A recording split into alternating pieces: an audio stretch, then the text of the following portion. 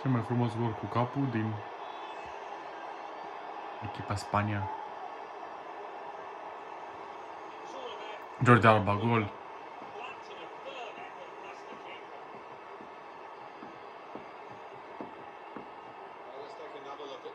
Prin 11 luni începe Euro 2020, să uitați. Că e fain.